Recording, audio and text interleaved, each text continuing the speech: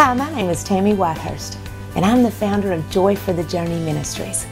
Nehemiah 8:10 tells us, "The joy of the Lord is my strength."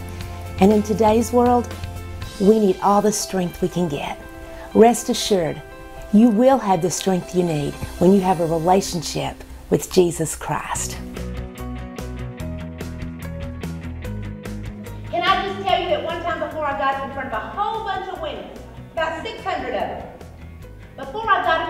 women, my friend said this, I can't believe that you don't wear a Spanx before you get up in front of people. She said, Tammy, it would make you so confident. You would do your job so much better. And I used to, I used to argue with her and say, but my confidence comes from the Lord.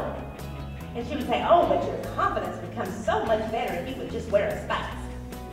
So you know what? I don't give into peer pressure very often, but I did. And some of you went, heh, heh, heh.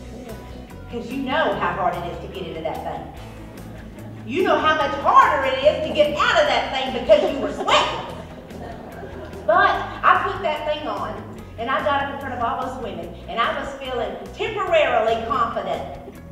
And I was walking around, and I was talking, and I was sharing the good news, and all of a sudden that thing started rolling.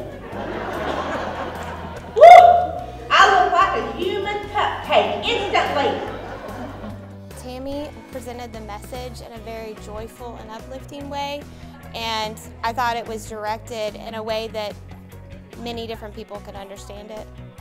The thing that I enjoyed the most is that I felt both um, convicted by what she said, but I felt definitely renewed by her message because now I know that I can apply those principles to my life.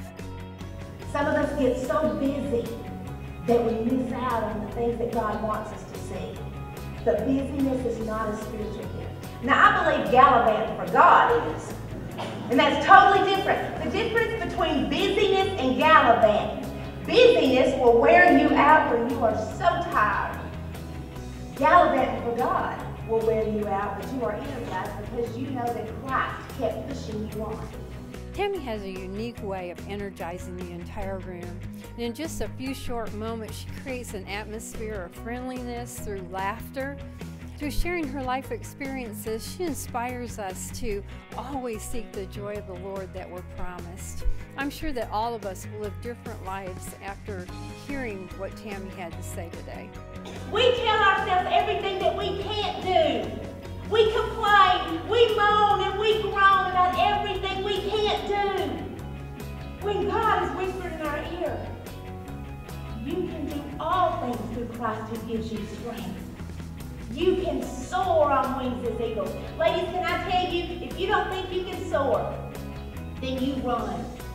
If you can't run, then you walk. If you can't walk, then you crawl. If you can't crawl, then you drag yourself. But you keep running the race with endurance that God has set before you. Because He still has a plan for your life. Tammy Whitehurst is one of the most inspirational people that I have ever known you are definitely going to want to hear her speak. She has the joy of the Lord in her like no one I've ever heard before. She's so enthusiastic and just so inspiring that it doesn't matter what circumstances that you find yourself in, you're going to leave with a huge smile on your face and laughter in your heart with such enthusiasm yourself to go share that joy with others. It is that strong. She takes you to the throne of grace.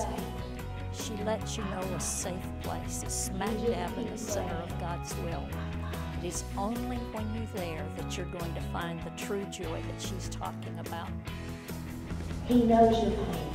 He feels your hurt. And he can comfort you, and he can take his big hand, and he can lift your chin and look at you and say, I've got it. You just keep praying.